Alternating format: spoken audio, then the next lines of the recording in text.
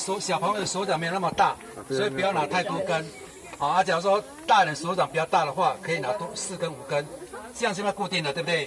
好，固定以后，你把它算，左边右边不是三根吗？好，三根后你一定要蹲下来，用你的右大腿，右大腿把它夹紧，一定要夹紧。好，来，左右的虎口各抓着三根，然后你用交叉由上往下推，由上往下推，把下面抓上来，这样交替的，哦，交替的这样往下拉，哦，一步一步的拉，一步的一步拉。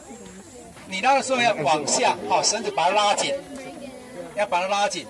刚刚老师忘了教你们怎么去衔接它的长度，对不对？好，你们再看一次哦。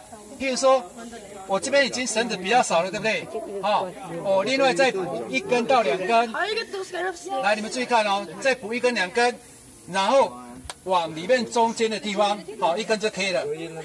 把它往里面补下去，继续的动作，继续动作，慢慢的，慢慢换边的话。哦，换边这边比较短，还是一样的，往中间的话再补一根，慢慢的用虎口抓住，慢慢的相同的动作，一样的 SOP，好，慢慢的搓，它的绳子就慢慢的延伸，会超过我们刚刚所示范的。来，这样老师有没有接起来了？